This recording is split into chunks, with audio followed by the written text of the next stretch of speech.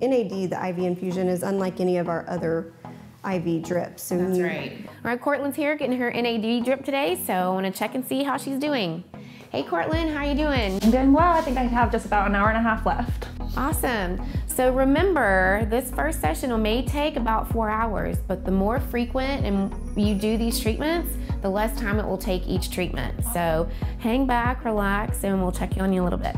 How would you describe that process? Yeah, it is unlike any of our other drips. It does require a little bit more time slotted for this infusion because your first infusion can take up to four hours. And the reason for that is this drip is rate dependent. If it's infused too quickly, the patient can experience some side effects. It could be anywhere from a queasy stomach to pressure in your in your head. And so all of that can be alleviated if the infusion is just slowed down. And so that is why it can take a little longer initially.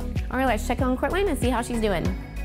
Hi, Cortland, how's it going? Done well. I brought all my work with me today, so I can work from here as I'm getting my drip. Awesome, you're about an hour into the drip. And so remember, the reason we take this at a very slow pace is because the faster the drip is infused, the more likely you'll experience some symptoms that can sometimes be uncomfortable for some people. So the more often you receive NAD drips, um, the less time it will take each infusion. So it'll be a four hour treatment this time, and the next time you come, we'll probably be able to back down that time. And so remember, if you never want to come into the clinic, we can always come to your house for your NAD treatments too.